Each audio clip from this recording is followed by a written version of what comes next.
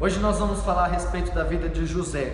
José que teve um sonho direcionado por Deus, guiado por Deus, e até a realização deste sonho, José passou por processos, José foi trabalhado por Deus, José foi guiado, direcionado por Deus, foi vendido pelos seus irmãos, foi trocado por moedas, por dinheiro, foi desprezado, foi tornado escravo, se tornou também chefe de todas as riquezas da casa de Potifar. E só que quando José assumiu o governo, assumiu aquilo que era o sonho que Deus tinha dado para ele, o sonho dele se concretizou. José, a Bíblia diz que lá em Gênesis capítulo 42, no versículo 8, que quando José olhou para os seus irmãos, José reconheceu os seus irmãos, mas os seus irmãos não reconheceram a José.